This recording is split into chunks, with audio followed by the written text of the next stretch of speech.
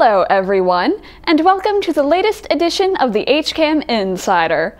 On Saturday, October 17th at 1:30 p.m., it's the Hillers versus the Mustangs in volleyball versus Medway. At 2:35 p.m., the Hillers take on the Wolverines in volleyball versus Westwood. Both games will then replay on HCAM Ed throughout the week. On Monday, October 19th at 6:30 p.m., the Elementary School Building Committee will air live on HCAM TV.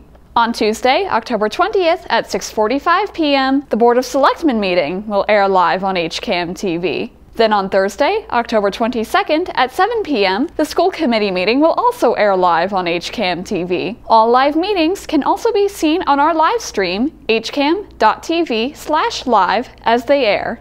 On Sunday, October 25th at 10 a.m., the planning board meeting from October 19th will air. We have plenty more programs to enjoy, so if you would like to learn more about them, visit hcam.tv slash news updates to sign up for our HCAM Insider newsletter.